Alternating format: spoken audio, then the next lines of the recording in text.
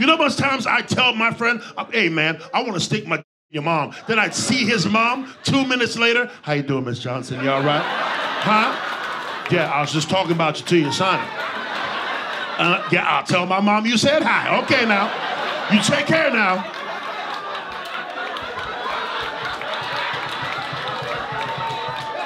Man, I want to fuck your mom, bruh.